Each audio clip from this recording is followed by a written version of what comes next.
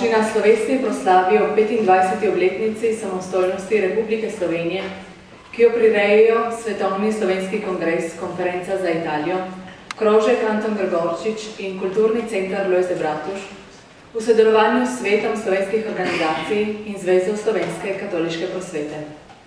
Prav lepo pozdravljam vse predstavnike političnih, družbenih in kulturnih ustanov, ki so nocoj z nami. Dovolite mi, da vam preberem tudi nekaj sporočil, ki smo jih v teh dneh prejeli. Spoštovani, zahvaljujemo se vam za vabilo na srečanji pod Lipami, ki ste ga poslali predsedniku Republike Slovenije Borutu Pahorju. Predsednik Republike se zaradi drugih že prihodno potrjenih obveznosti srečanja ne bo mogel udeležiti.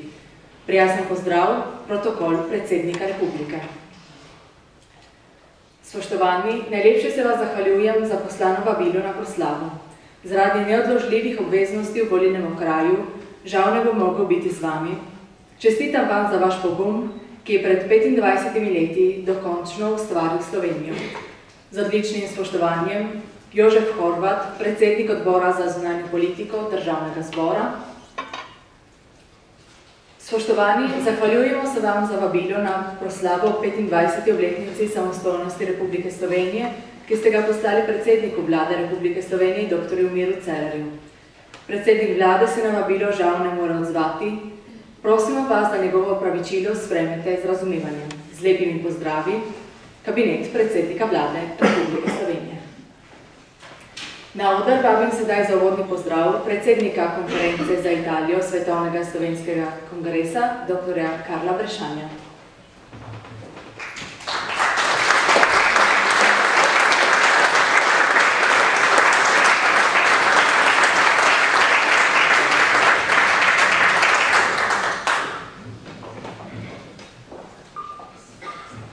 Spoštovani, veliko čast mi je in veselje, da lahko iz tega odra pozdravim vas vse na tej jubilejni poslavi slovenske osamosvojitve.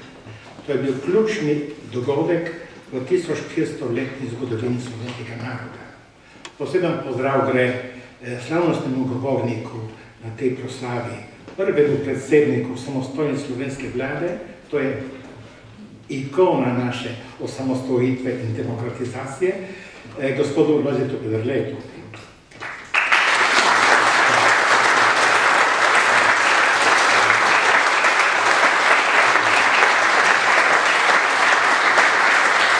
Prisrčen pozdrav gre tudi predsedniku Svetovnega slovenskega kongresa Borisu Pleskoviču.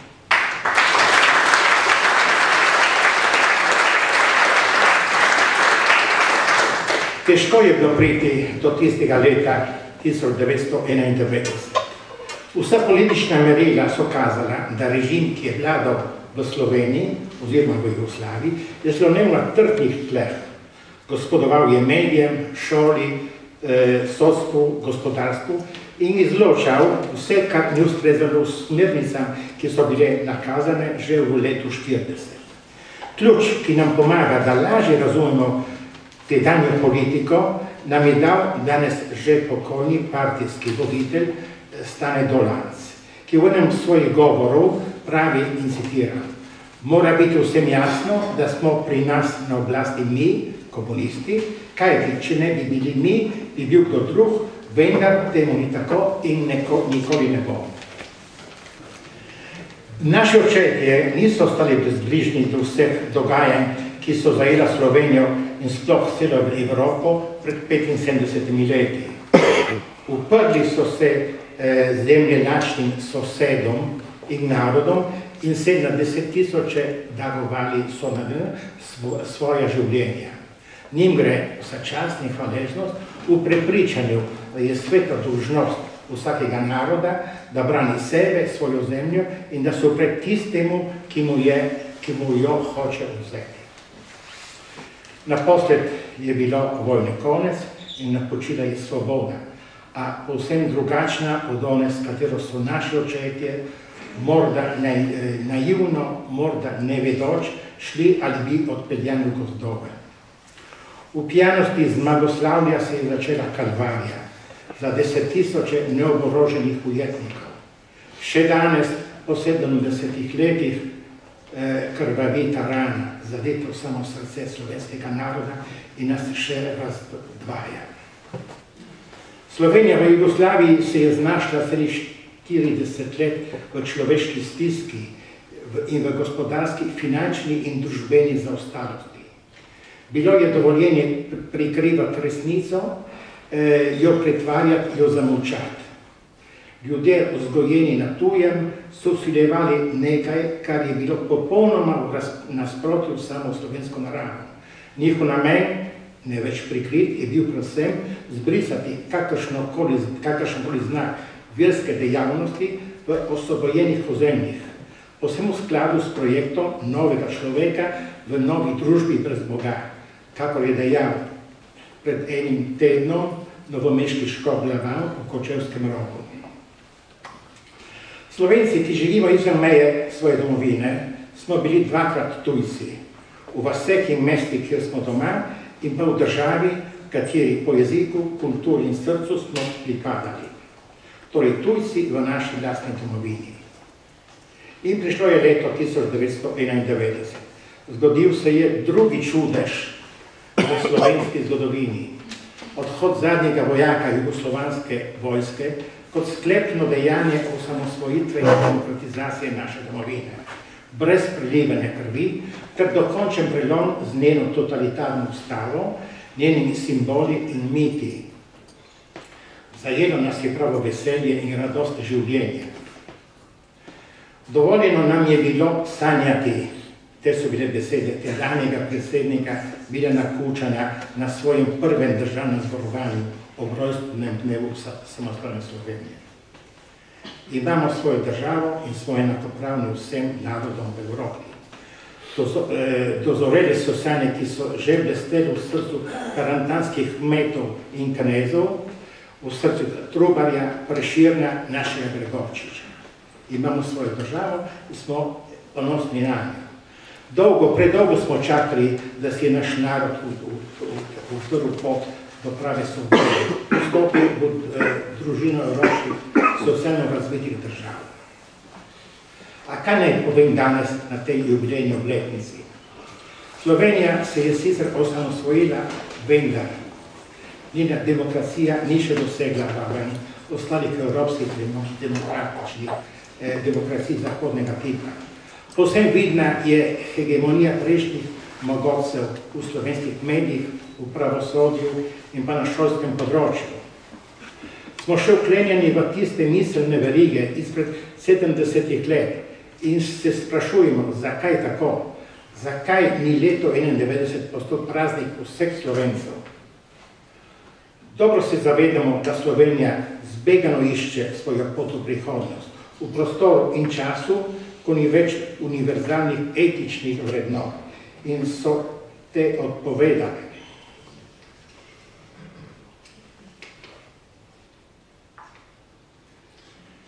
Na teh vrednotah je bila osnovana zgrajena Združena Evropa, ki je danes v polnem primežu duhovnega in etičnega relativizma.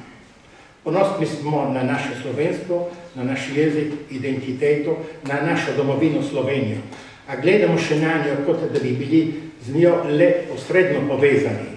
Ostajamo še opazovalci in nemočni, da bi vsaj malenkostno pripomogli k njenemu razvoju v naših govorih, pa tudi v dnevnem časopisju in televiziji, prevečkrat poudarjamo samo njeno osamosvojitev in se pri tem ne zavedamo, da je to politični pojem, ki ni v nasprotju z ideologijo prejšnjega režima.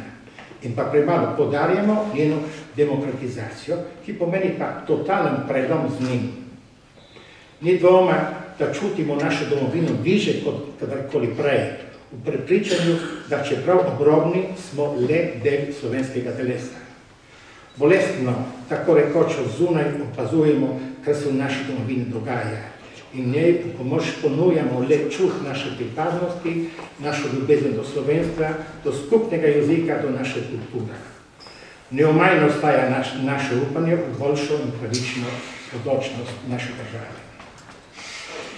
Kako druga slovenska društva, tudi konferenco vodi neizmerna dobra volja in velika skrb za posvetu naše identitete doma in širom po Italiji. Zamisel eh, ustanovitve svetovnega kongresa Just Svetelov Dragi leta 1989, italijanska konferenca pa ena izmed enajstih, eh, ki jo se stavljajo slovenski kongres, pa hitro potem. Od samega začetka vzdržuje kontakte in kar je v njeni moči, povezuje Slovence z Milana, z Verone, Benet, Rima, eh, Torina, eh, tudi Polonijo in druga mesta. Pred zaključkom tega mojega posega, dovolite še misel. Misel hvaležnosti, ki jo dolgujemo osebi, ki je danes med nami, brez nje bi ta proslava imela drugačen, manj svečan potek, ali bi je sploh ne bilo. Njegova je bila zamisel tega praznika. Oseba, ki je bila deželjna, deležna predkrati najvišjega priznanja slovenske države. Skupaj že vrsto let dobro sodelujeva po samem vrhu Svetovnega slovenskega kongresa. Tokrat je ne bo ne medalje, ne kakega drugega priznanja, ampak samo upam, prisrčen in velik aplaus cele eh, dvorane tebi, kot znak hvaležnosti.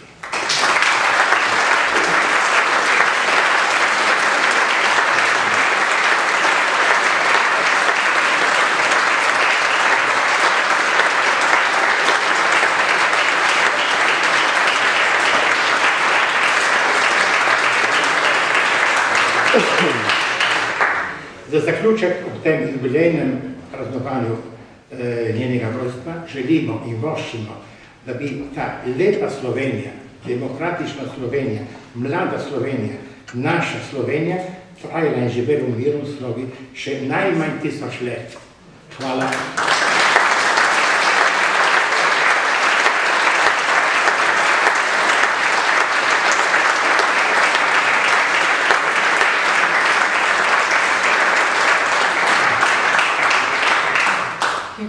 vabim sedaj predsednika Svetovnega slovenskega kongresa, dr. Borisa Pleskoviča.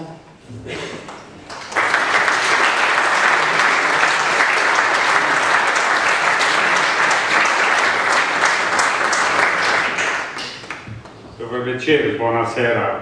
A, veliko čast in veselje mi je, da vas vidim danes tukaj. Namreč, jaz se med Slovenci v Italiji počutim kot doma. Tukaj je moje srce, ker tok iskrenega domoljubja, karizme in prisrčnosti, kot jo doživim med nami, jo nisem še nikjer videl, pa sem prepotvol cel svet. Jaz bi sam par besed eh, povedal o naših voditeljih eh, na tej strani meje eh, Svetovnega slovenskega kongresa, najprej Marjan Krpin. On je leta in leta prireja najlepše, najbolj iskrene domoljubne proslave državnosti pod lipo ustevarjavno na svojem domu, kjer ima prestol in kneži kamen in kjer so res iz srca te proslave. On je veliko naredil za slovensko skupnost v Italijo in si tudi od mene uh, zasluži poziv k aplauzu in čestitkam za vse, kar je naredil za našo domovino na tej strani in na, dru na drugi strani meje.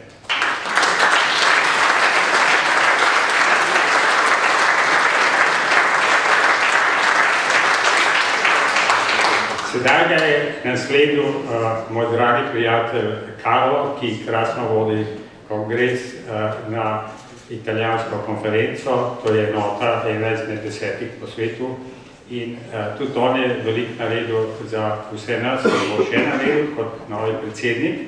Zdaj pa reč še par besed povedal o slavnostnem govorniku, ki ga pozdravljam, uh, Lozetu Peterletu. Jaz sem ta privilegij, da sem bil njegov glavni ekonomist, da sem vodil ekonomsko ekipo za časa uh, njegove vlade, te letne vlade. V mojem spominu se je on obnašal in deloval kot pravi državnik. Je ogromno naredil to, da je Slovenija stabilizirala gospodarstvo, napisala osnovne zakone in dosegla priznanje od velesil evropskih in drugih po celem svetu. In tudi Slovenci iz sveta so veliko pomagali, ampak še ena stvar mi je ostala v spominu. Z delom, z Lojzetem, on bi vedno pošten in vedoželjen in je razumel gospodarske zadeve in ekonomske, ampak je vedno prašal, da mi to razložiti, ker raz, ko smo mu razložili, je to tudi naredil. In to, to mi je v spominu stal, ti rekel, Boris, ti si veš, kaj drugi bi sam kimal, ti pa kritično poveš, da sem dobro dobro naredil, sem to dobro naredil, sem mu z veseljem vedno resnico povedal, on je to spoštoval do mene, jaz pa do njega. Ampak on se je obnašal kot državnik in danes boste tudi dobili državniški govor od njega tukaj. Jaz vas lepo pozdravljam in vam želim prijeten večer ob nastopu uh, bivšega predsednika vlade in pa kasnejšem druženju. Hvala lepa.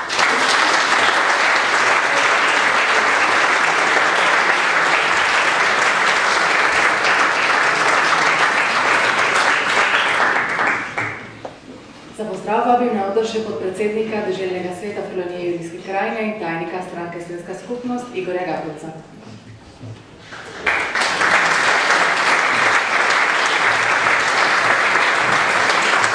Spoštovane dame in gospodje, predvsem pa dragi prijatelji, dobro večer in dobrodošli na tem že 25. prazniku največjega dejanja v zgodovini slovenskega naroda, 25 letnici, kot je bilo povedano, ne samo osamosvojitve, ampak tudi dejanja demokratizacije naše matične domovine. 25 let od tega se je zgodila veliko dejanje, torej za katerega si je prizadevalo veliko ljudi, ki ni bilo nikakor ne samoumevno, ki ni tudi, tudi eh, šlo skozi brez hudih žrtev in brez tudi velikega tveganja. Takrat se je našel velik pogum, eh, narod, slovenski narod tudi je bil poenoten kot malo kdaj prej in žal tudi kot malo kdaj potem. 25 let ni samo zgodba eh, nekih uspehov, veliko je bilo tudi zamojenih priložnosti, predvsem pa kot slovenci, ki živimo še vedno zunaj meja matične domovine, z velikim pričakovanjem gledamo na, naš, na našo matično domovino kot prostor, kjer naj se vendarle uresničijo sanje neke večje enotnosti, tistega trenutka, ko slovenec ne bo več, recimo, bratu noža porival v hrbet. Jaz sem prepričan torej, da tudi danes bomo eh, obeležili na najvišji ravni ta praznik, tako kot vsako leto doslej. Spomnili ste se pravilno Marjana, Marjana Trpina, njegove prekrasne rezidence, njegovega parka, tistega prestola, ki žal ga ne moramo danes prenesti v, v ta dom. A vendar naj nas tolaži pa dejstvo, da če že nismo v tistem parku, smo vedno vendarle pod pokrito streho in danes verjetno v tistem parku ne bi bila primerna in eh, živahna ne razprava, tudi ne praznovanje.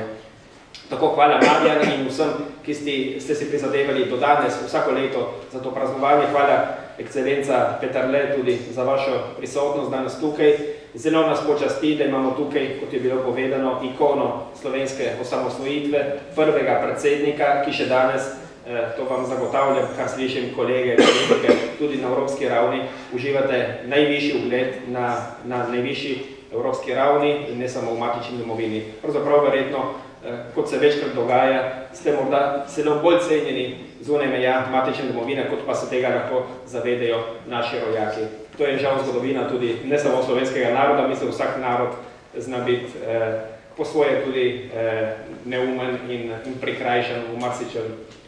Hvala torej za eh, ta večer, za vašo udeležbo in prijetno praznovanje in čestitke vsem nam za to, kar se je zgodilo. Kot pravijo eh, vedno kolegi, ki so bili pred 25 leti aktivni in vodilni v stranki, slovenska skupnost kot stranka Slovencev v Italiji ni bila eh, samo eh, sodeležena v, v osamosvojitvi, bila je aktivni člen osamosvojitve, vanjo je verjela veliko pred tistim dejanjem, vanjo veruje in eh, pre, prepričano tudi si za to prizadeva še danes. Lep večer vsem.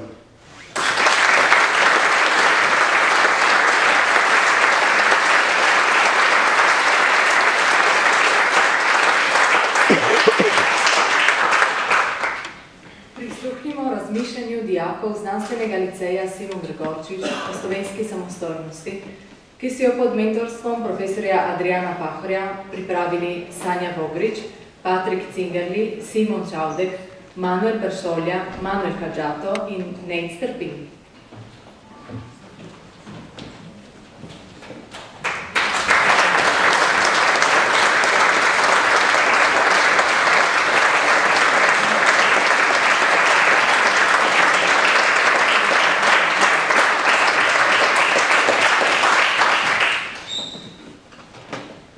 Osamosvojitev Slovenije je bil velik praznik za naš narod, saj je bil ta od leta 1991 vedno odvisen od drugih vladarjev. Končno smo se opogumili in dosegli popolno samostojnost, ki jo je naš slovenski narod vreden, saj je zelo cenjen narod.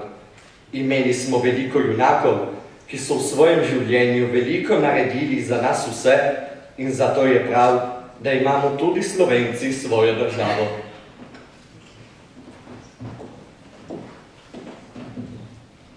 Pred 25 leti je Slovenija končno postala samostojna država. Slovenska samostojnost mi veliko pomeni, saj tudi če živim v Italiji, se imam za Slovenko in se torej tudi čutim del Slovenije. Slovenščino uporabljam v šoli, v pogovoru s prijatelji in seveda tudi doma.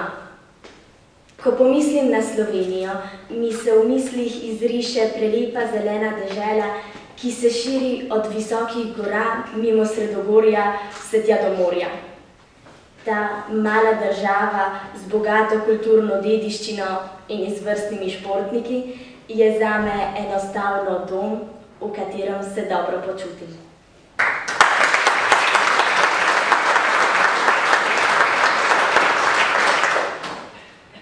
25 leti je Slovenija postala samostojna, svobodna v svojih političnih odločitvah in to kljub pogojevanju ostalih narodov.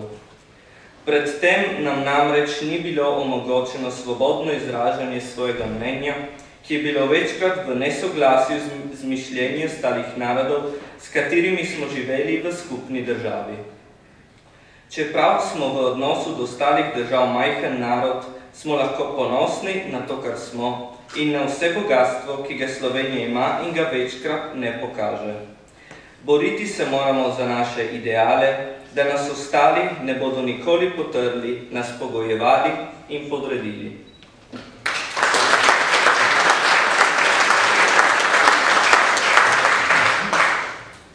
Ponosen sem, da sem slovenec in mi slovenska samostojnost veliko pomeni. Zavedam se namreč, da se v mojem telesu kveta kakvi tisti, ki so se za to samostojnost borili in žrtvovali. Zaradi tega moramo samostojnost skrbno braniti in negovati. Truditi se moramo, da ostanemo povezani, složni in tako vsem pokazati, koliko je za nas pomembna naša domovina.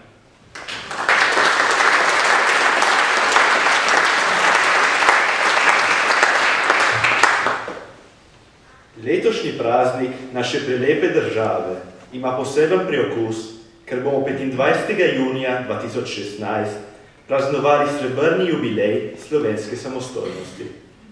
Slovenija in slovenska narodna identiteta mi veliko pomenita, čeprav sem rojen in stanujem v Italiji.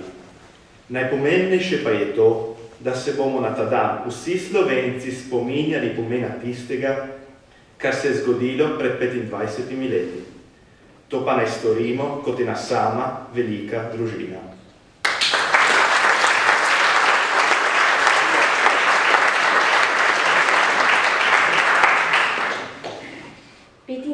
juni ima za nas Slovence velik zgodovinski pomen.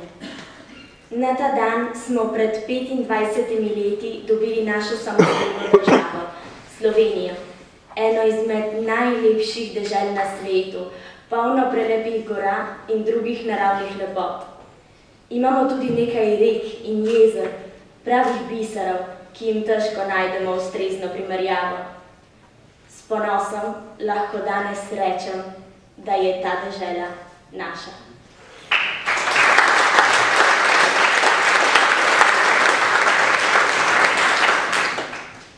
Slovenija, obdana s čudovitimi gorami in drugimi naravnimi lepotami, je država mojega maternega jezika. Slovenija je država, v kateri živijo moji sorojaki, s katerimi se rad družim in se z njimi dobro počutim. Slovenija je država številnih navad in običajev, ki so, ki so tako rekoč del mene. Slovenija je preprosto moj dom, v katerem najraje živim.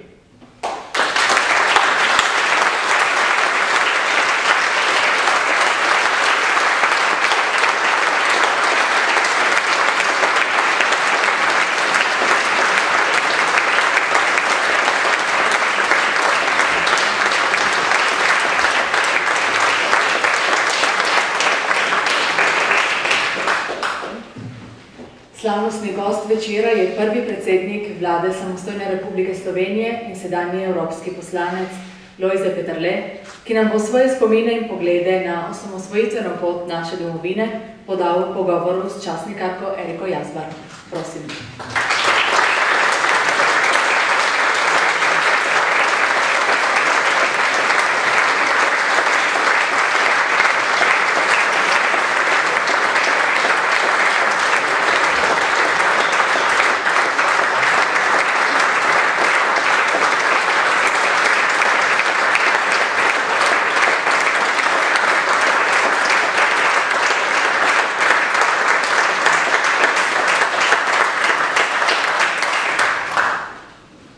Torej, dober večer tudi v mojem imenu, prvemu predsedniku vlade, ne samo samostojne Slovenije, ampak tudi demokratične Slovenije, kot je pravilno poudaril Karlo Grešan. Jaz sem si tudi pripravljen svoj daljši vod, ampak marsikaj je bilo že povedanega.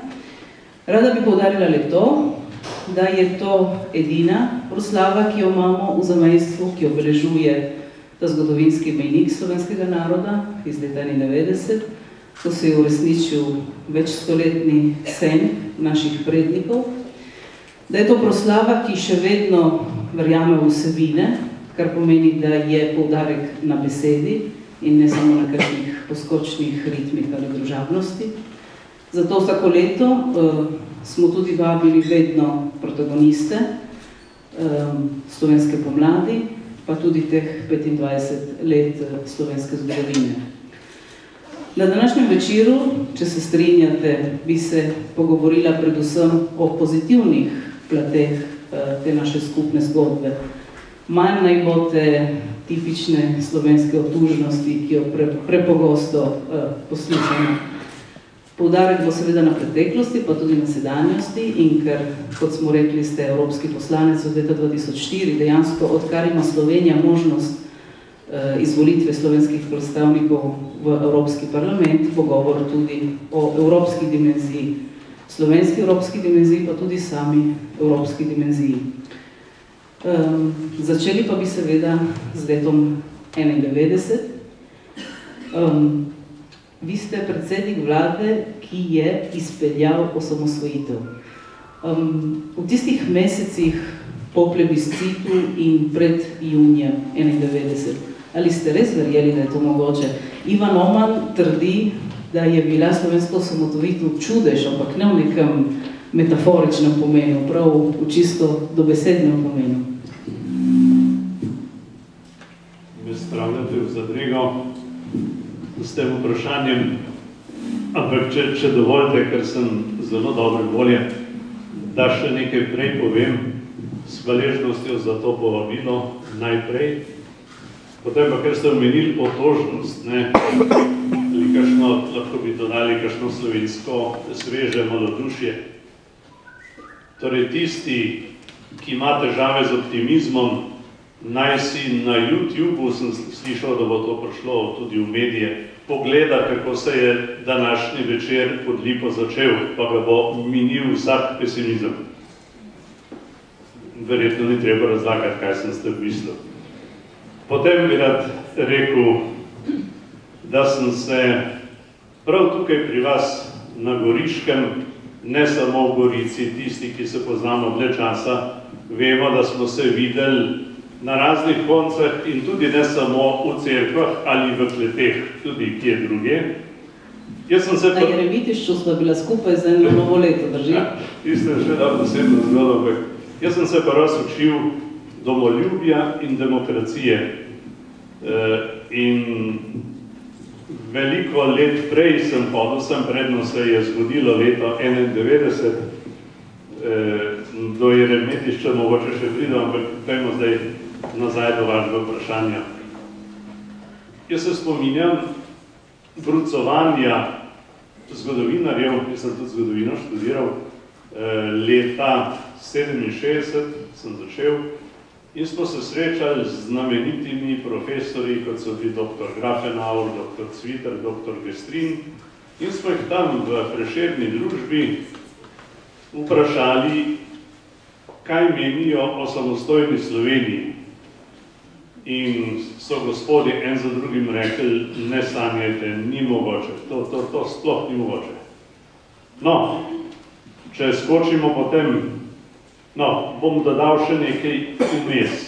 Leto posleje so štirje slovenski razumniki v Rimu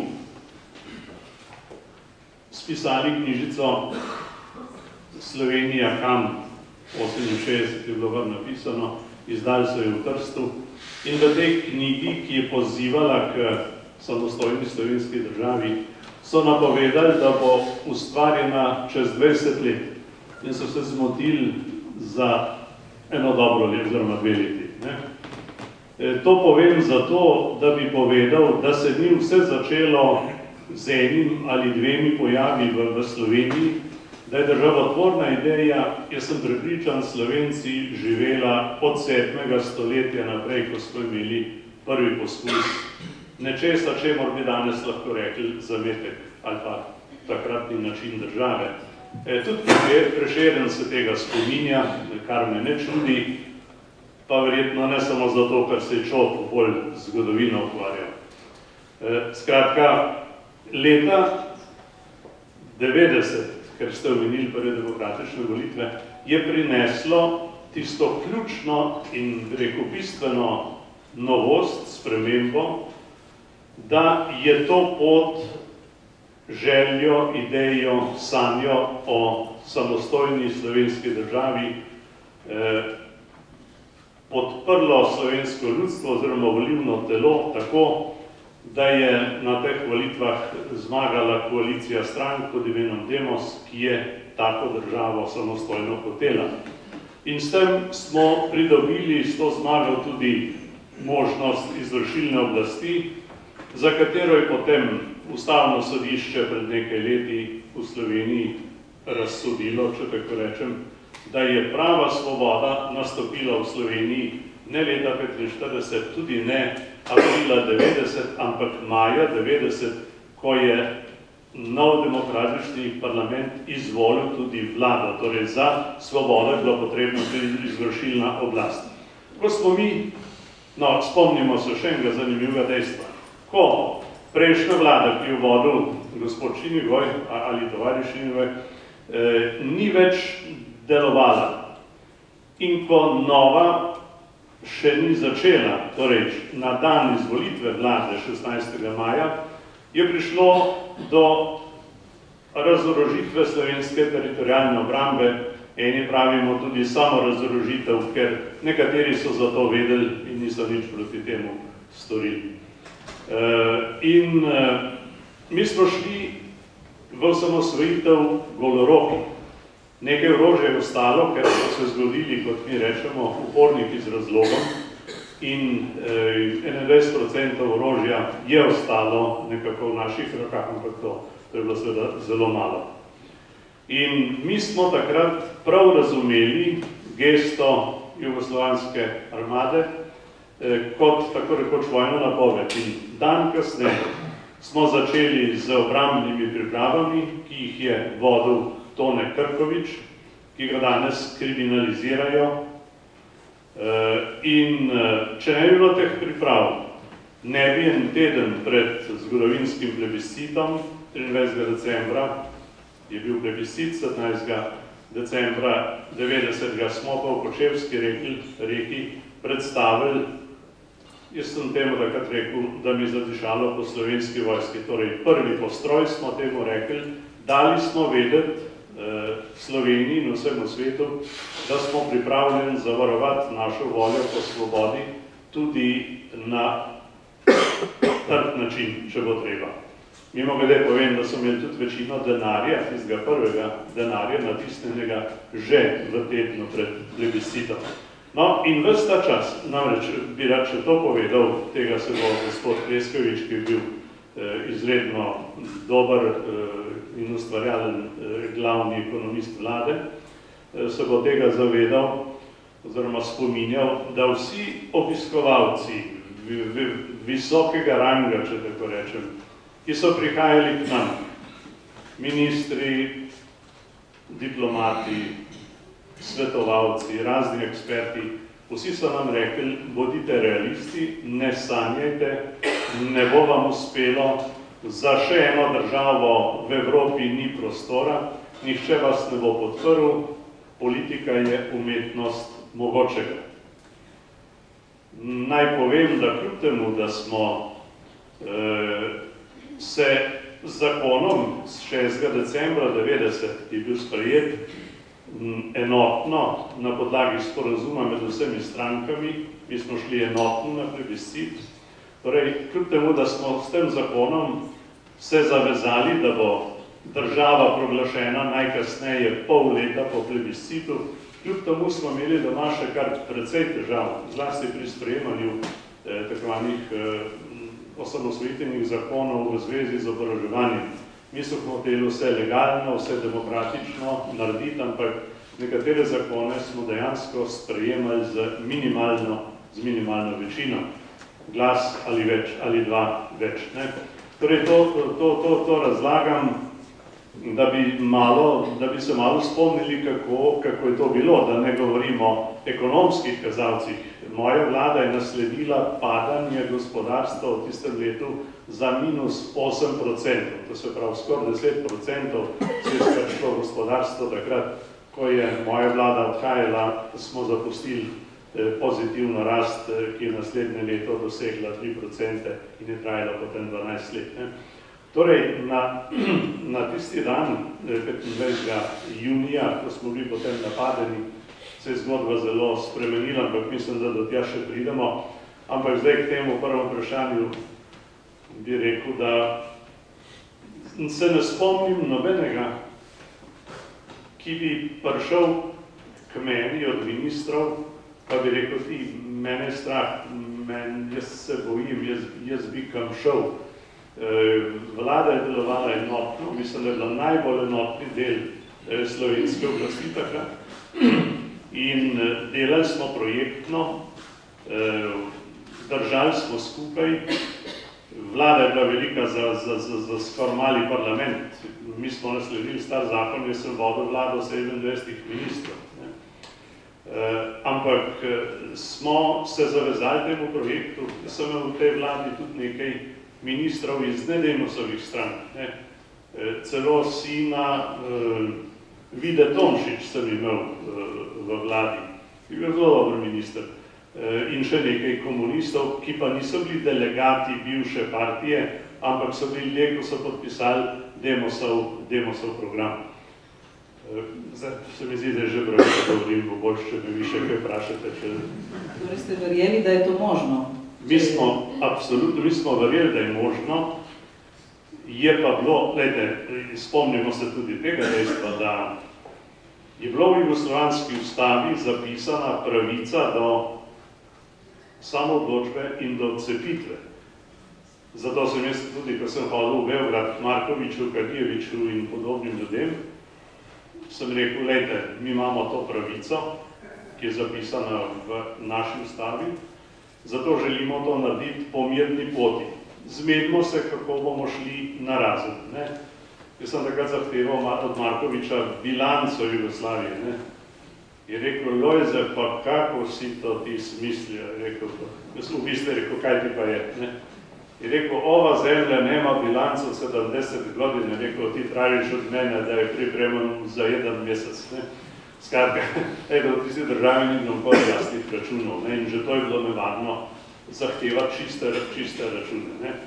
In mi gre še tole, neki tak spominski večer, ko sem jaz prvič v Beogradu na seji jugoslovanske vlade in sem videl tiste ministre in zastopnike republik, je, če ne bi do takrat vedel, da Jugoslavije ni več, bi moral spoznati to tisti, tisti dan, ker tam je bilo šest različnih političnih govoric. E, in države, bi to bi rekel še tole, ker to, to na zahodu ni čisti jasno številni. Jugoslavije niso pokončali demokrati. Jugoslavijo so pokopali komunisti, ker se niso mogli zmeniti kako naprej. Ker je bil večkrat omenjen ta zgodovinski dan, ko so bile dovoljene sanje, kaj bi vi izpostavili z tega dne, oziroma tega večera? Vas naraj vprašal, koliko časa imate, žena ni rekla, da moram domov priti. E, že če bi samo o tistem večeru govorili, da bi bil takole, da bi lipe nekaj časa cvetele. Ne?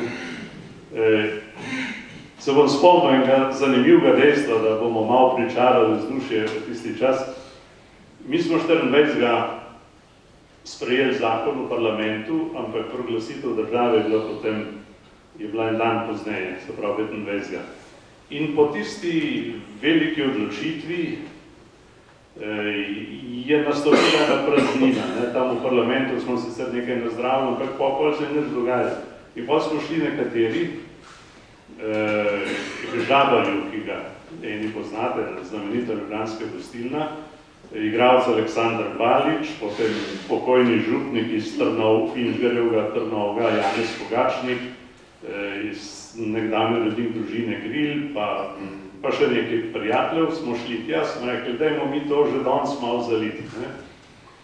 Eh, in takrat je rekel Janez Pogačnik, ki je veljal za zelo kulturnega človeka, je rekel, gospodje, jutr bo pa v Trnovem gorel tak kres, kot nikjer na tem svetu, je rekel, če bo drv zmanjkal, bomo pa cerkev zažgati. Torej, to je samo en, en izraz, kaj smo takrat pričakovali. In jaz se spomnim tisti večer, ko smo se spravljali na, na tale trg, kjer veste, da je bilo v Naglici tisti naglici se je zgodilo, da so po protokolarni strani naredili napačno zastavo. Ne?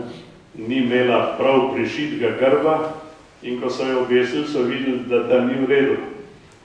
In ne vem, kako katera milost je prinesla eh, gospoda Kuralta tam mimo, skratka ta znani naš žal že pokojni nekdani smučar, je imel pa glih tuk veliko prav narejeno zastavo, tako da so pol njegovo obesel, eh, tista napačna visi pa v pivki v vojaškem muzeju, jo greste lahko pogledati. No, in takrat, ko je tista avion preletel večerno nebo v Ljubljani, eh, tist je, tist je bilo zlovešče, bi rekel. Jaz nisem bil vesel tistega preleta, ki ni bil samo bučen, je, je, je, je dajal nekako slab vtis, ampak jaz bi rekel, mi smo tisto pozabili, noben, niti ne bilo kakšnih resnih komentarjev, čeprav smo vedeli, da ni bil pozdrav po samosvojitvi, ampak je bilo, je bilo nekaj drugega. Torej, takrat eh, je Slovenija praznovala in eh, tudi eh, precejšen del vlade je praznoval, en del je bil pa že zaposlen s prvimi informacijami. Ne? In če sem zdaj zelo, zelo oseben, bom povedal, kako je moja zadnja ura pred, predno se bilo vešeno napadu. Tam pri Trnovem smo res tisti kres skurili, cerkve ni bilo treba zažgati, ker je bilo drv dost. Ne? Eh, in pol smo šli ob ene pol pol noči smo se zbrali in smo prepevali tam Petrič, Vili je harmonko igral in smo tako nekako prodrli do Prešerna, potem smo šli za pet na Čkofu Šušterju, ki nas ti slišal, ampak malo zatem je pristopil k meni moj varnostnik, rekel gospod predsednik, eh, tanki gredo iz metlike in tako naprej, bo, in seveda je bilo zame, če tako rečem, veselice konc. Ne? In eh, pol, pol se je zjutraj zgodilo tako razširjeno predsedstvo, kjer smo sprejeli prve sklepe, pol smo bili pa v vojni, takrat je bilo tudi konc bratstvene enotnosti, bi rekel, takrat smo bili že mi na preizkušnji. Napadlo nas je okrog 22 tisoč vojakov Jugoslovanske armade z 800 tanki in eh, potem smo pokazali eh, tisto, kar je bilo treba. In jaz bi rekel, da sem vesel, ne samo, da je vojna trajala samo 10 dni, ampak da je imela tudi tako malo žrtev. Mi bi lahko imeli prvi dan na tisoče žrtev mi bi lahko imeli deseti dan na tisoče žrtev, mi smo obkolili vse, vse, vse kasarne, nekaj tisoč vojakov je dezertiralo in tako naprej. Vojska Jugoslovanska je začela razpadati v, v, v, v Sloveniji. Ne. E, skratka, ta preizkušnja mi včasih za nazaj da misel, v kaj smo se spustili. Ne. Lahko bi se zgodilo tako, kot so nam nekako napovedovali. Ne? Lahko bi se zaključilo zelo drugače, tako da danes jaz bolj verjamem v spiske, eh, kam bo kdo šel ali kje bi kdo končal, o kateri se takrat govorilo. Ne? Ampak mi smo, mi smo doživeli nasmeh zgodovine, tako jaz temu rečem. Jaz sem vesel, da pripadam tej generaciji in mislim, da je velika odgovornost naše generacije oziroma tistega dela tu proslavljajočih, ki ve, kako je bilo prej, pa kako je bilo potem. Ker tisti, ki so se rodili po letu 90, ne vedo, kako je bilo prej. In tisti, ki vemo, kako je bilo prej, vemo, kaj branimo in vemo, česa ne smemo spustiti, da se ne bi čas zavrtel, zavrtel preveč nazaj, ampak do Evrope še pride, da sem razumel. Se meni je žal, jaz bi še povedala to tematiko, ampak moramo naprej in ker imamo takega gosta, mi je žal, ampak bo spet eno tako vprašanje za pol ure. Um, vi ste predsednik vlade, ker so slovenski krščanski demokrati v Demosovi koaliciji bila stranka, ki je dobila največ glasov. Nepričakovano, nenapovedano, po priznanju Republike Slovenije so slovenski krščanski demokrati začeli postajati motivni element, kar so še danes, ker vas potiskajo tako z leve kot eh, z deve. Moje vprašanje je prvič, zakaj je tako? In drugič, eh, kakšen je tisti element, ki ga politik, ki, ga, ki je katoličan, prinaša v družbeno angažiranost oziroma v politiko v širšem pomenu besede? Marsikdo je bil zelo presenečen nad rezultatom krščanskih demokratov. Jaz sem si potem relativno kmalu našel, po mojem, ta pravo razlago. E, kristjani, ki so bili tudi večinska kategorija v slovenskem prebivalstvu, mislim, da so bili tisti del družbe, ki je doživel največ udarcev v času, v času komunizma. E, ne mislim samo na svojce tistih, ki so končali v rogu ali na šesto drugih e, množičnih moriščih med vojno ali po njej. In v tem delu prebivalstva je bilo tudi največ želje po spremembi in največ pričakovanja. E, in nobeno javno, mnen, na, nobeno javno mnenjska nam ni napovedovala zmage. Nas, mi smo imeli srečo, da so nam dali nekako še kar mir. Ne? Z nami se niso veliko ukvarjali in potem se je zgodilo to, to presenečenje, ki sem ga bil jaz vesel, e, ene pa zelo zaskrbelo. In Ivan Oman je nekoč rekel, demos je začel razpadati, takrat, ko smo zvedeli, da so zmagali krščanski demokrati, kajti zmaga je bila pričakovana in, kako bi rekel, predvidena v narekovajih za, za neko drugo stranko. Ne. In v tisti stranki so se začele kvalu težave, polarizacija, ki se je potem zgodila, da je prišla tako daleč, da se je stranka razdelila na, na dve stranki. Ne.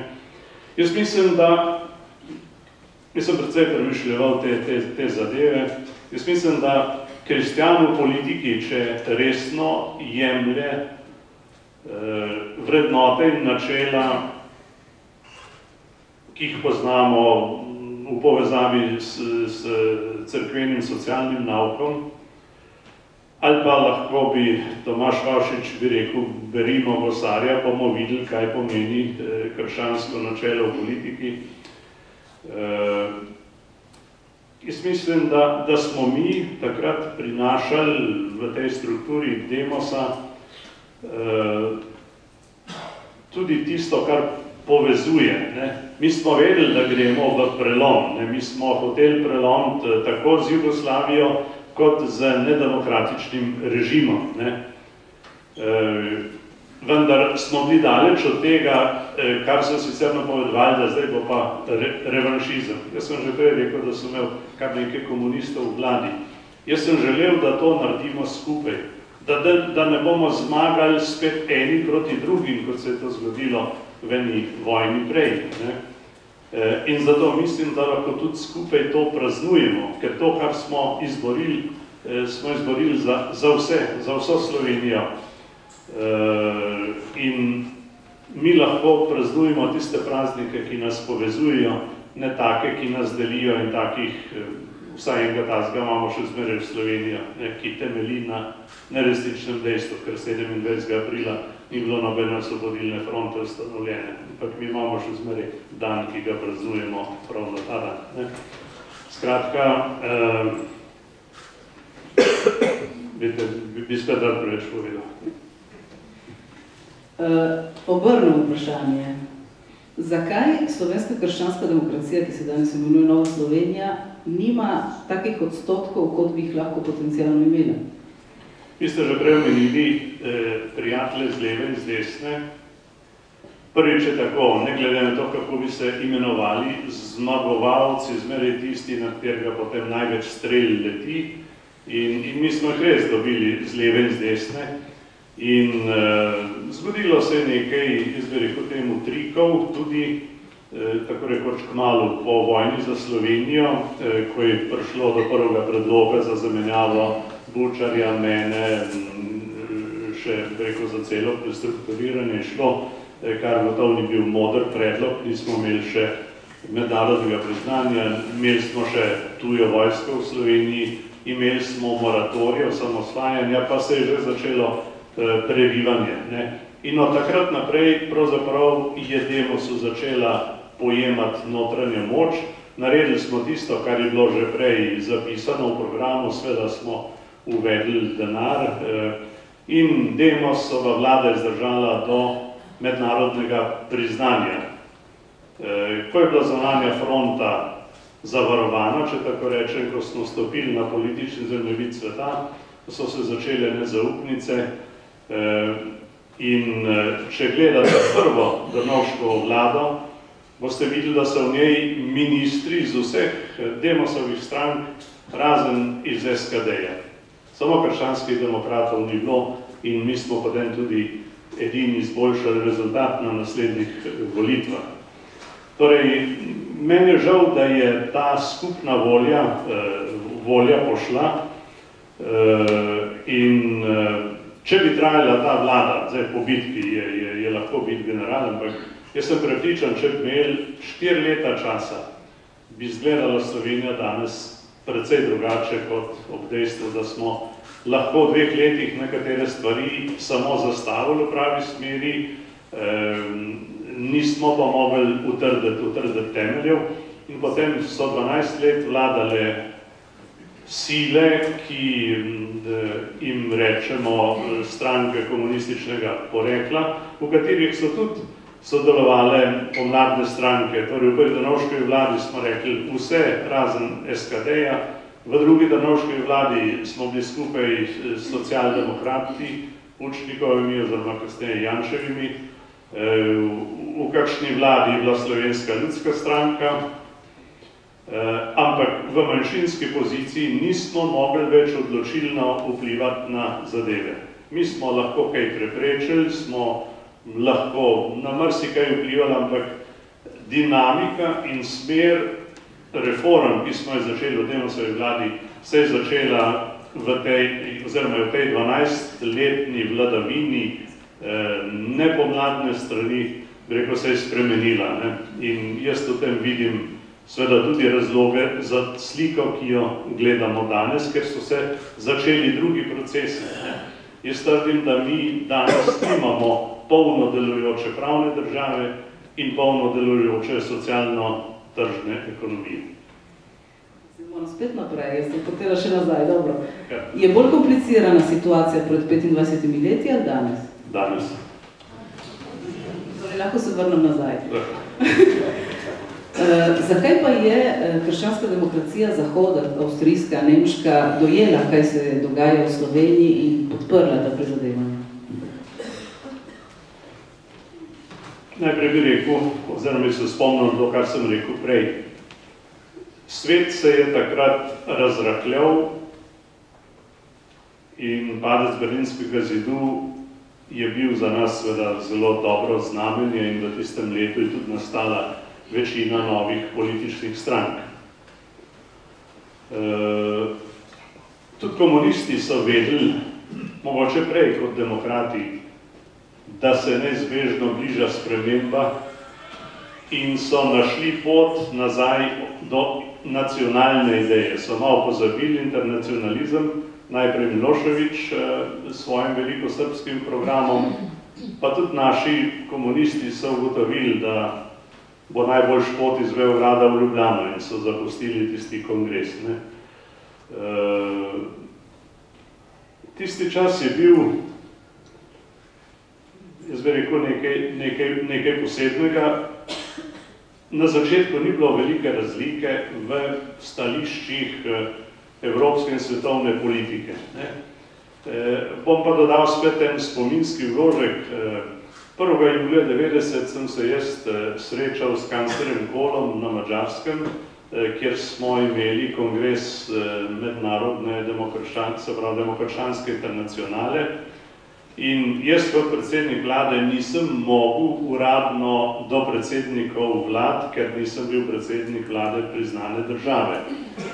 Kadar pa se je dobila skupaj internacionala, sem pa lahko sedel skupaj s Kolom, Andreotijem in tako naprej. In takrat je Kol sam prosil po kosilu predsednikov vlad, če bi se pogovorila, pogovorila na štiri oči. In so imela polurni razgovor, In je on rekel, veste, mi razumemo vaše politične cilje, vi spadate v zahodni kulturno-civilizacijski krok. Če smo mi Nemci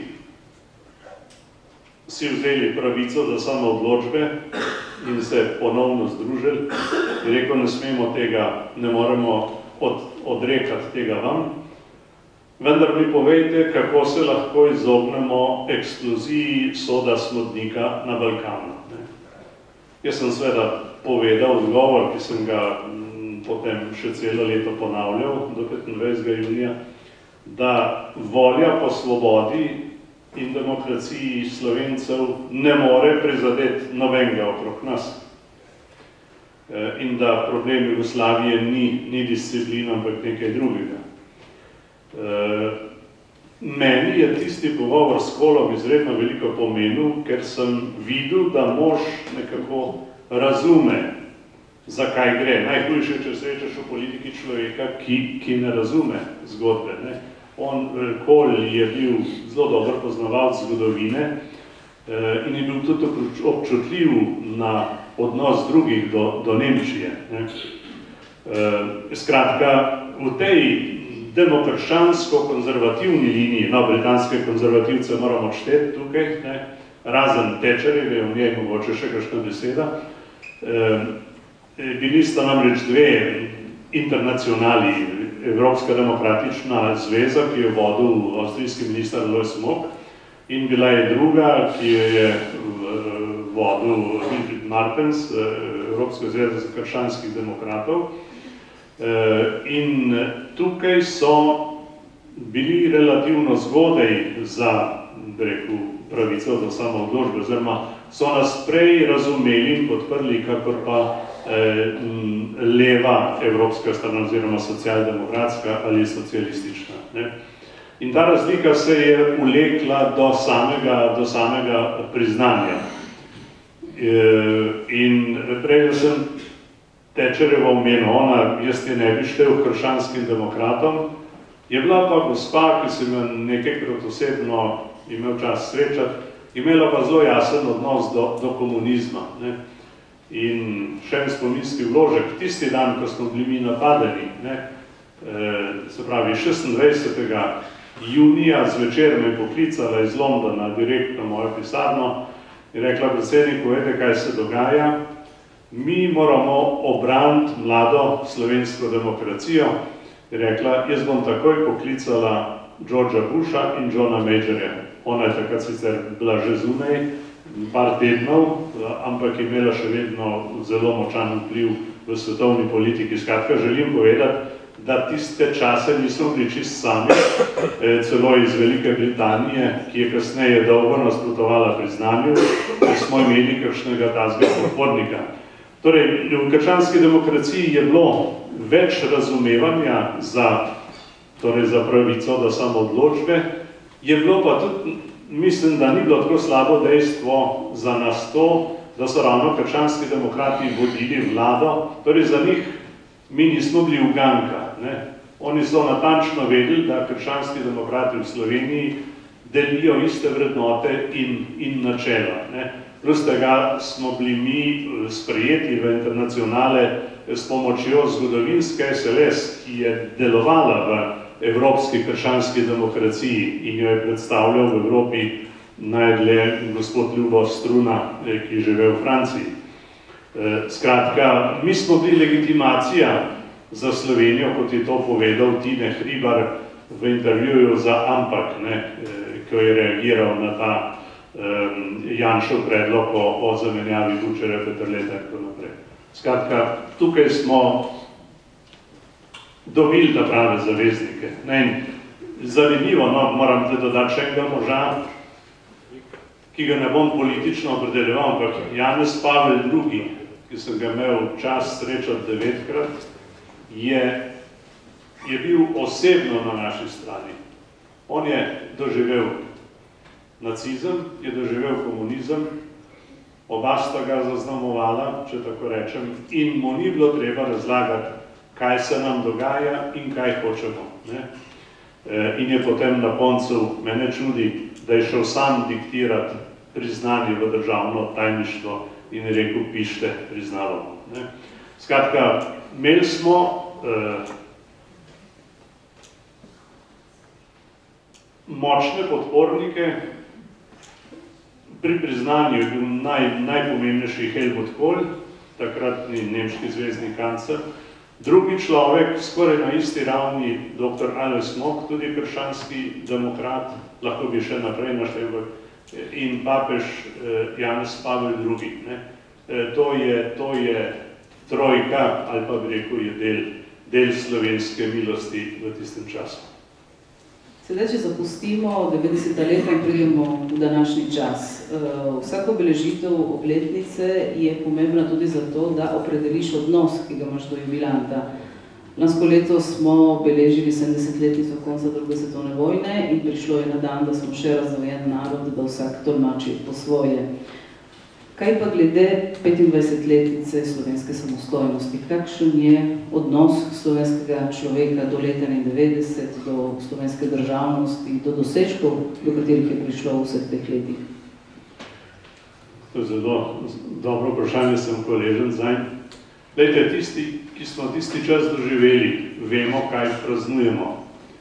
Tisti, ki so se rodili kasneje, žal v Sloveniji o tem času ne vedo skoraj nič zato ne vedo, zakaj gre, tudi ne vedo, zakaj so razlike.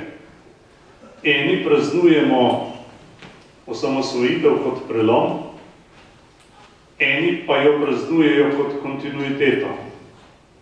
Potem je razlika danes v, v, v Sloveniji. Ne? Nekdani komunisti pravijo, da so 45. že skoraj vse naredili, Pa so prišli pa še eni malo koražni fanti, so pa tole še za en korak naprej potisnili, pa smo pristali v samostojni državi. Ne. Torej, mislim, da tako enostavno to ni. Ne.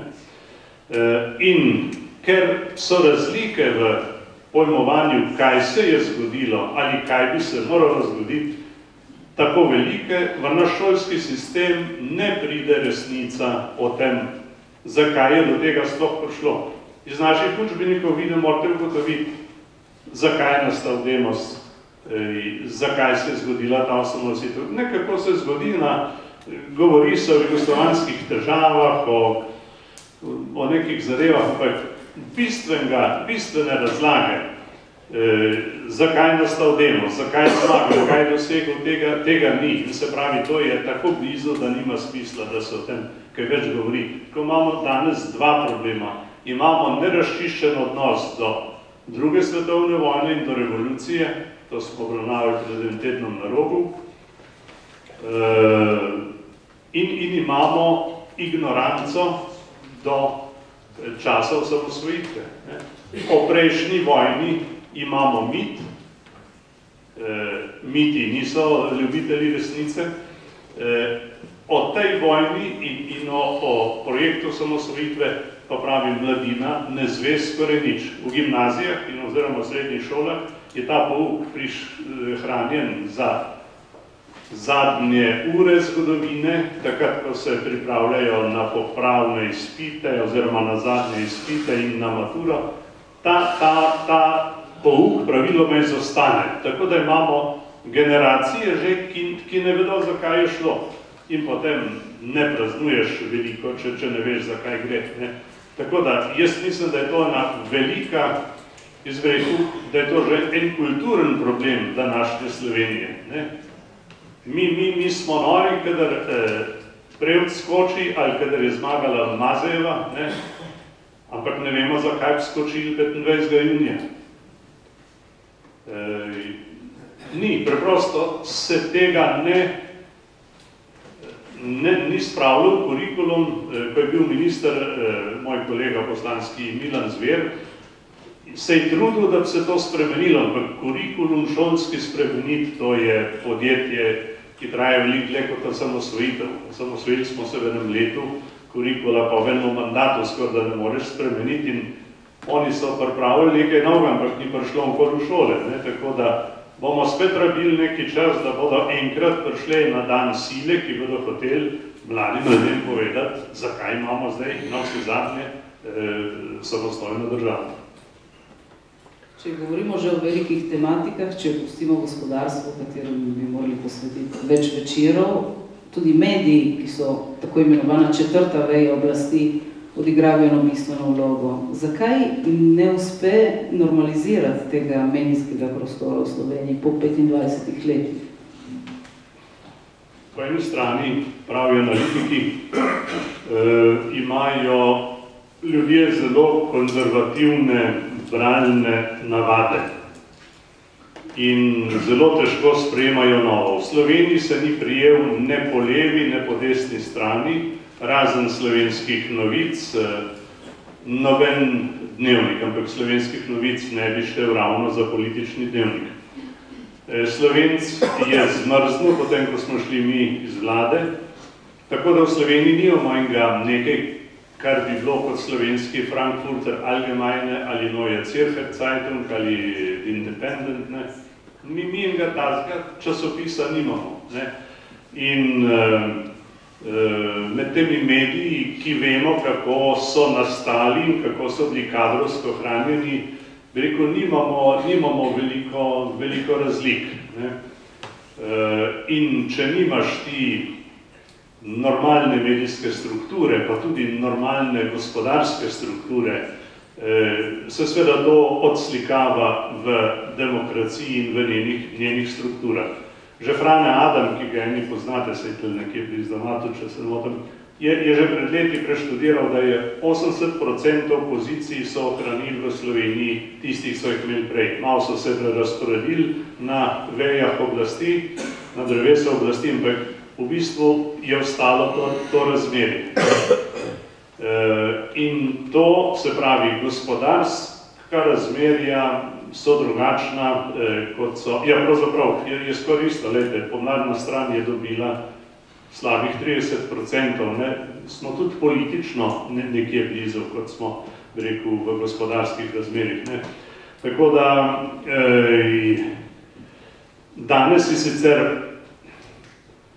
jaz imam več od tega, če dam nekaj na, na Facebook ali na Twitter, bi rekel, eh, kako če se trudim, da bi prišel kje skozi pri kakšnem mediju. Čeprav zase osebno bi rekel, da me še kaj najdejo, še kaj vprašajo, ne. E, ampak trdim, da nimamo normalne medijske, medijske strukture. Ne glede na to, kar smo se povedali doslej, kakšen je ta slovenski človek? Danes v javnosti je ogromno cinizma, ostrine, neprepustnosti med našimi in tistimi, ki niso naši. Eh, kje pa je ta, ne vem, ganljiva lepota slovenske pokrajine, melodioznost ljudske pesmi? Ali slovenski človek je še tak? Ta cinizem je samo v ospredju, medtem ko je glavnina slovenstva drugačnega, ali ni več tako? Vprašanje o modernem slovenskem cinizmu je, je zelo umestno. Jaz vidim največ cinizma na strani tistih, ki obžalujejo propadli ideološki in politični projekt. In zato imamo Slovence, ki bolj praznujejo samosvojitev in take, ki jo praznujejo manj. Mogoče ste bili vsaj uradni zastopniki na kakšni slovenski državni proslavi. Mogoče je kdo bil, sem iz dvakrat z nje odšel, ker sem postal žalosten in, in jaz sem z takih krajev doma, da če grem na proslavo, mora biti malo veselo. Ne? Naše proslave so večinoma nemogoče. Ne? Ne, ne, te ne dvignejo. Ne? E, e, in, in kaj boš pa na proslavi, ki ti ne dvigne duha. Ne? E, ne vem, tle bi se dalo seveda eh, eh, še, še, še veliko povedati. Kako pa iz Bruslja gledajo na to majhno in komplicirano slovensko državo, kjer ta tranzicija ne uspe in nekateri pravijo, da po samosvojitvi se mora še osvoboditi? Jaz sem to rekel ob 20-letnici na proslavi v Ljubljani, da smo se osamosvojili, osvobodili pa še ne. ne bom spet se ozoril malo na tisto, kar sem prej povedal. Lejte, vsi v demosu, vsi v demosu so bili za spremembo. Niso bili pa vsi za preobrazbo. In v tem je neka, neka, neka razlika. Ne? In tudi eno je razvoj, eno je pa rast. Ne? In tudi vsaka rast, oziroma vsak napredek ne pomeni rasti. Tle, tle imamo malo pojme pomešane, bi rekel. Ne? Uh, In uh, me še vznemire to vprašanje o, o, cin, o cinizmu. Uh, Lejte, tri glav še zmeraj stoji in vse, kar je regulo v njem napisal. Uh, slovenska pokrajina je še zmeraj lepa. Uh, Brus, ljudje, ki prihajajo iz Brusla, jo občudujejo, govorijo celo o nedolžni pokrajini, In tisti, ki nas ne spremljajo zelo natančno, eh, menijo, da, je, da še kar gre v Sloveniji. Ne? Če pa govorite z diplomati, ki so zadolženi za spremljanje našega dogajanja, pa pravijo en za drugim, to je zgovorim iz lastne izkušnje, pravijo, ko pridemo sem, smo navdušeni, vse se nam zdi lepo, zdi se nam, da teče, potem pa vidimo, da je nekaj narobe pa si ne znamo pojasniti, kaj je narobe. Ne? Zakaj pri vas, zakaj pri vas ne, ne gre. Ne? In zanč me je bivši poljski predsednik vlade Želzi Buzek vprašal in rekel, Lojze, in rekel, kaj se je pri vas zgodil? Prav, mi smo čas čakali na vaše zakone, na vaše ukrepe, smo vas prevajali in kopirali, vi ste bili za naš zgled, se prav mala Slovenija bila zgled za, za, za, za Poljsko, ampak Kitajska mi ni prišla na jezik brez veze, ker Jaz sem srečal v enem letu uradno kitajskega zonanjega ministra in podpredsednika vlade dvakrat, kar se v kitajski eh, zgodovini še ni zgodilo in se ga vprašal, kako to, zakaj tako zanimanje kitajske za nas. Je rekel, vi ste za nas najboljši laboratorij za študij prehoda iz eh, komunizma v demokracijo. Je rekel, mi vas bolj študiramo pod Poljsko, Mađarsko in, in podobne države. Ne? E, to, to, to je zanimivo.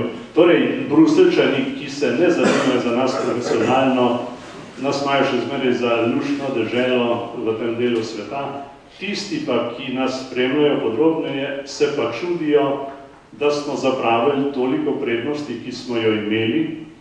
E, jaz sem prej omenil 12 let rasti, ampak potem se je začela potno vzdol, zdaj imamo četrto vlado v petih letih, e, pa čakamo še vedno na, na bistvene reforme. Ne. Torej, nas eh, prehitevajo države, ki so bile veliko, veliko za nami.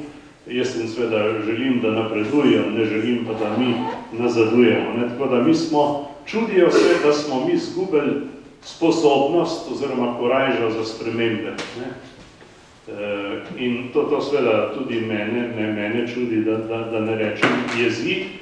In čudijo se ti ljudje, ko se pogovarjajo s slovenci in slovenkami, ne? ravno tega, da, da je toliko cinizma, da je vse problem, da je toliko tiščanja prsta v drugega, da je toliko polarizacije, ne, pa pravijo pa vi, ne, se spomnite, ko sem jaz rekel, nekoč, da bi lahko druga Švica, pa me zdaj kritizirajo, kje je Švica, ne. Sveda Švica ne more narediti teden, ampak Ivan Roman je najlepši na to odgovoril. Je rekel, če bi delali tako kot Švicari, pa ni mislil na, na samo na švicanje, ne, Eh, bi imeli Švico, ampak mi, mi, mi delamo drugače. Ne? E, in, in pač taki ne moramo biti zelo Švici podobni. Mislim, da smo bili že bolj podobni kot ne. ne in ta, ta cinizem e, je, je nereflektirana zadeva, veste, ko mi se z njim premalo ukvarjamo, mi smo ga kar vzeli kot dejstvo, ne, e, ki pa nam ne pomaga naprej. Jaz nimam nič proti razlikam, razlike lahko zelo bogatijo. E, sem pa proti polarizaciji, ki ne dodaja dodane vrednosti. Jaz sem tudi za polarizacijo, če to prispeva k razčiščenju, ne?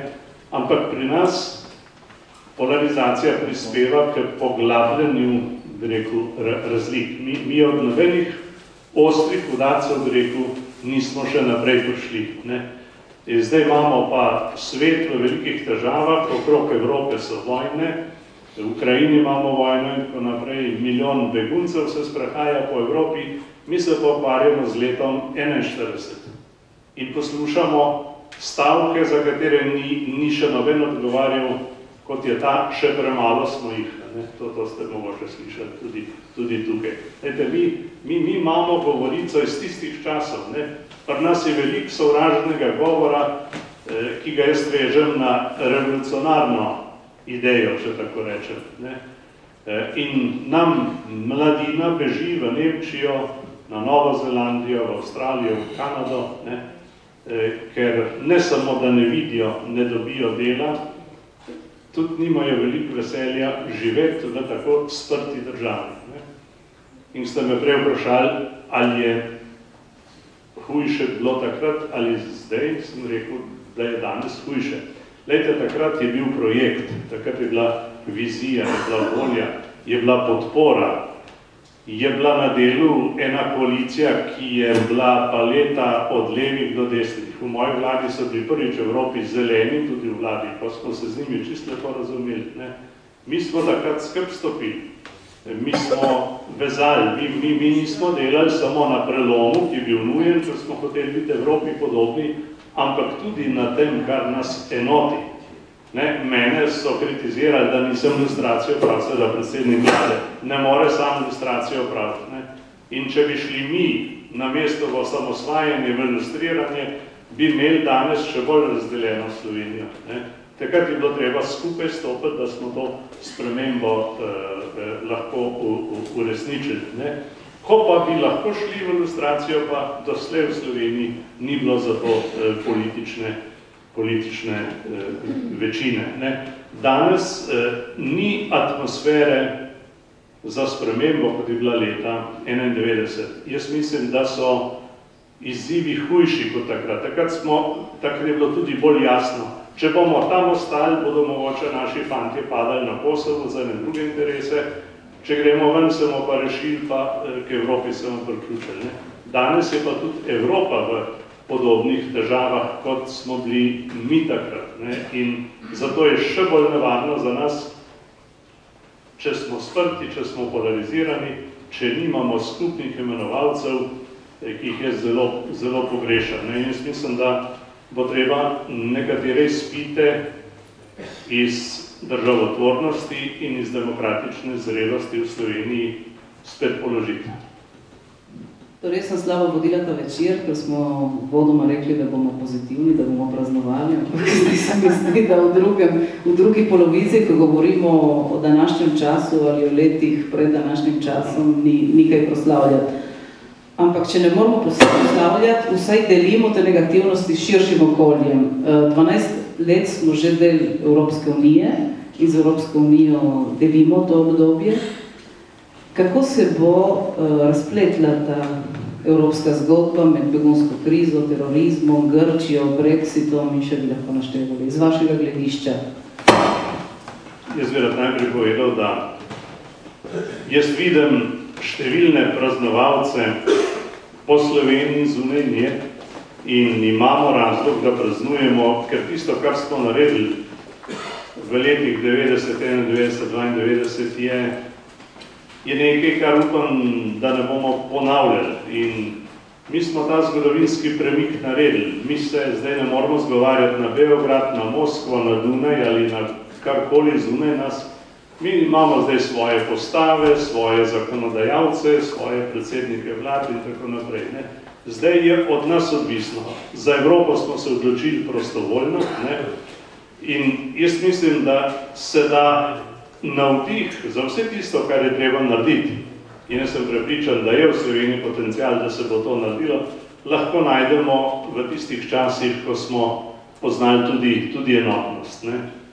Eh, in z tega vidika sem eh, optimist, ne, eh, me pa jezi, da, da, da, da čakam toliko časa na naslednjo spremembo. Zdaj, kar se Evrope tiče, pa Evropa je napredovala tako rekoč pol stoletja, gospodarsko je rastla, se širila, bila navznoter in navzven solidarna, je največji dajalc pomoči v svetovnem merilu in Evropa ni bila navajena na, na probleme, ni bila navajena na krize. Ko se je pojavila finančna kriza, je razkrila tudi notranje razloge za krize.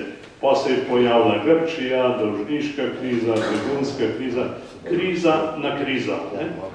In tudi v tako veliki zvezi, kot je Evropska zveza, ko gre na robe, ali po tem primeru države najprej pomislijo na se. Ne?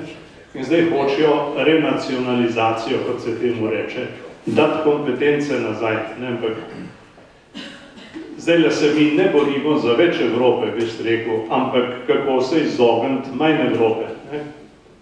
In zdaj bom spet se spomnil tega, kar sem prej rekel. Ne? Mi, ki smo videli razdeljeno Evropo, ki smo videli Rožno dolino, pa Robič, pa pa kakšnega mrtuga na meji, če je hotel ilegalno čez in tako naprej, pa, pa, pa, pa, pa, pa kolone, pa parne par, pa, pa tako naprej. Ne? Torej, eh, kdor se tega spomni, gotovo si ne želi teh časov nazaj, ampak ko v Franciji stojiš na meji ali v Belgiji na meji, se začneš spominjati, kako je bilo. Ne?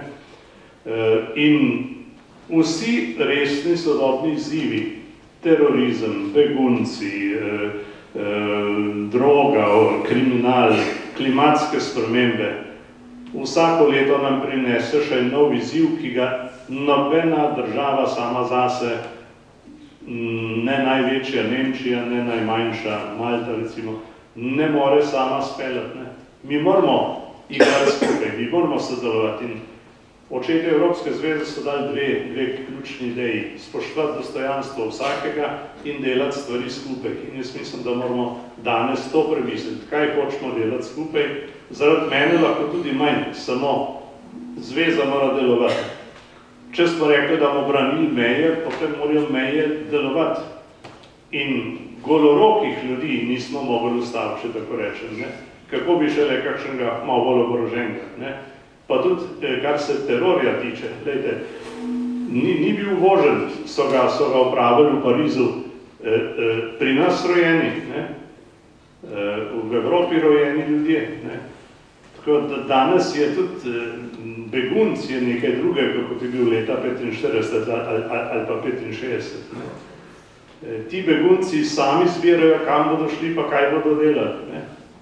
Slovenije, Slovenija jih ne zanima, celo Avstrija jih ne zanima. Zaenkrat hočejo v Nemčijo, ampak eh, bomo videli, kako še bo po tem sporazumu s Turčijo. Torej jaz, tako rekel, me je vprašal en nekdani francoski minister Lamassoure, je rekel, Lojze, ko se pa počučeš zdaj v Evropski zvezi, sem rekel približno tako kot nekoč v Jugoslaviji. Ne? Eh, in sem mu potem razložil, zakaj. Ne? V Jugoslaviji smo živeli z dvemi logikami ne, in smo imeli tudi dve davčni kulturi, tako kot je to v Evropi. Na severu so celo ponosni, če davke plačajo, na jugu so pa ponosni, če jih ne. ne. E, in jaz si ne predstavljam... E, Dobro, le, se vemo, o čem govorimo, ne, pa mi težko živimo skupaj na dolgi rok če imamo dve davčni kulturi. Ne? Ali pa, gledajte, Nemčija dela zdaj drugo generacijo reform, Francija, pa mi pa nismo naredili še te prve. Ne? In zdaj se nam obeta, vem, da se to dela, eh, da bo verjetno skupina držav ustanoviteljc, pa mogoče še kdo, bodo pripravili nek projekt eh, jedrne Evrope, pri katerem mislim, da nas ne bo zraven, ker taki, kot smo, nismo zanimivi za resno sodelovanje. Ne. Do zdaj smo bili v prvi hitrosti, kot se reče, ampak eh, mislim, da nismo več kvalificiran za ne. Eh, in jaz mislim, da bi bila velika nesreča za Evropo, Evropa je širši termin kot Evropska zveza, če Evropske zveze ne bi bilo. Zdaj nas čaka še tale tmani Brexit, ne? zaenkrat kaže, da bo Angleži odšli, ampak, pardon, ja, Angleži, ker nisem rekel Britanci, ker Škotije pa kome čakajo, da se to zgodi, da se to samo svojili pa priključili nazaj Evropski zvezi. Ne? Britanci ne, niso dobro preštudirali posledic. Ne? In se ne bo zgodilo, če bodo 23. odšli, samo to, da bodo, da bodo oni zapustili Evropsko zvezo, bo tudi Evropska zveza zapustila njih in kar nekrat ne bo 500 milijonskega trga več in tako naprej. Skratka, to, to, to so zelo zapletene zadeve, ne? ampak bom spet rekel, ravno zato, ker je pred nami toliko izzivov, ker nas vodilni analitiki v Bruslju svarijo, da je bilo to leto še kar znosno, da bo naslednje leto in nasled, da bo naslednja leta težja. Ne? Torej, če imajo ti ljudje prav in jaz se bojim, da imajo. Ne? Mi žal smo tako resni, zdaj le na ta slavnosti dan, ampak eh, pol je treba še bolj se zamisliti na tem, kako bomo mi to preživeli, kaj moramo za to narediti. Ne? v katero smer gremo, torej, jaz to svetujem leto 41, kako gre po tej liniji, smo že videli in smo že vedeli to zgodbo 50 let, no manj. No. E, ne in e, zato jaz sem vesel, da sem predstavnik e, ljudi v Evropskem parlamentu, e, ker tam mislim, da še lahko držimo neko, jaz bi rekel, proevropsko linijo, čeprav so tam tudi, ne, eh, rekel, drugačni glasovi. Ne? Me pa skrbi to, da, gledajte, ste videli volitve v Avstriji zdaj, ne? V Avstriji je politični center ob teh volitvah predsedniških zginil. Ne?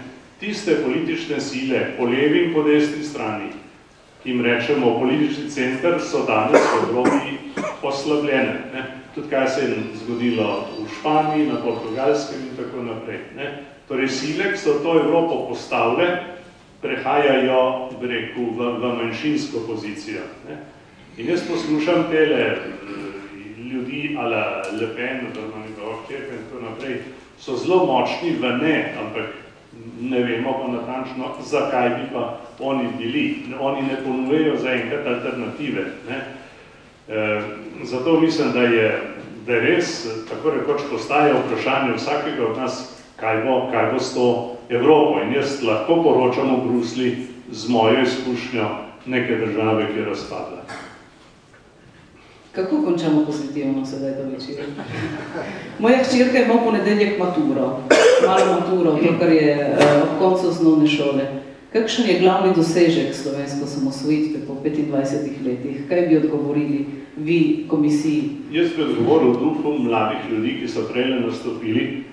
Osamosvojitev sama je bila enkraten, pozitiven in zgodovinski dosežek. Kaj se je zgodilo, potem ni krivo osamosvojitev, ampak tisti, ki so odstopili od duha osamosvojitve.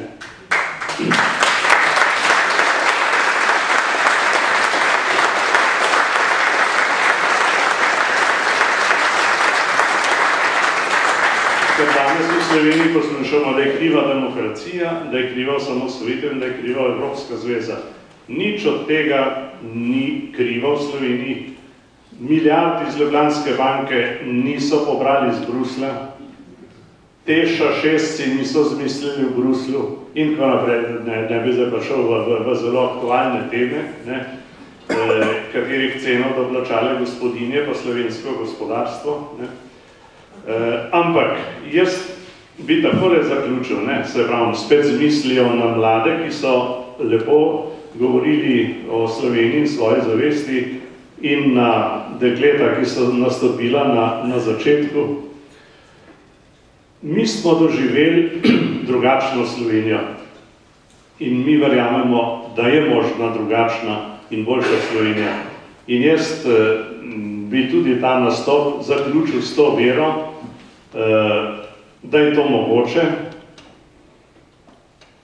s pričakovanjem, da tisti, ki bodo zmagali naslednjič, ne bodo delali istega, kot so delali predhodniki. Ne, to, to se bomo morali enkrat zveniti. Ne. E, in jaz sem pripričan, da bo, da bo ta, čas, e, ta čas prišel, da bo prišla ta volja, da bodo prišli ljudje z odgovornostjo e, in bodo v dobro Slovenije še kaj naredili. Ampak kot vidite, ni, ni problem samo Slovenija. V številnih evropskih državah se srečujemo s podobnimi problemi, ampak nikjer se tukaj ne ukvarjajo z zgodovino kot se pri nas. Če bi se z njo prav ukvarjali, bi se je rešili, ker pa nam še resnice manjka, se pa z njo še kar naprej ukvarjamo. Ampak jaz sem, jaz sem optimist, ne samo zaradi tega, kar sem rekel na začetku. E, še zmeraj pravim, sem vesel, da nam, je, da nam je to uspelo in si raje ne predstavljam, kako bi bilo če imamo samosvojitev in med oziroma vstop v Evropo ne bi uspel. Mi imamo priliko, mi smo jo izborili, od nas je to odvisno, kaj bomo zdaj naredili.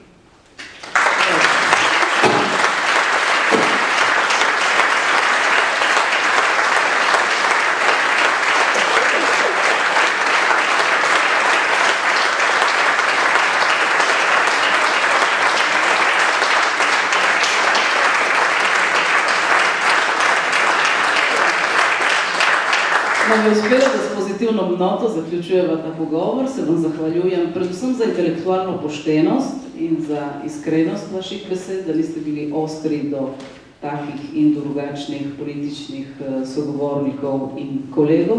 Zahvaljujem se vam za čas, ki ste si ga vzeli, za današnji večer in v Gorici ste vedno dobrodošli. Hvala lepa.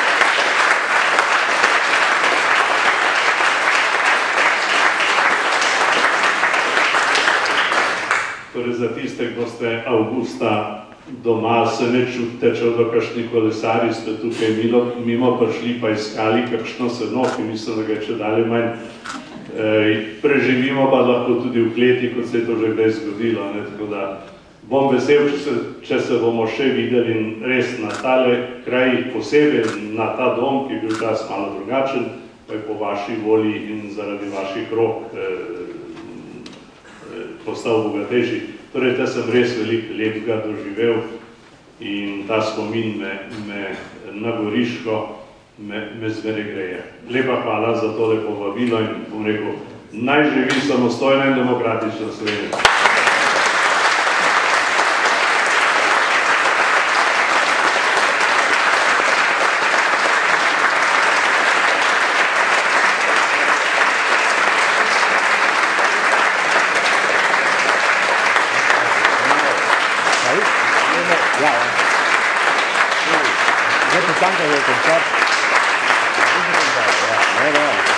Thank you.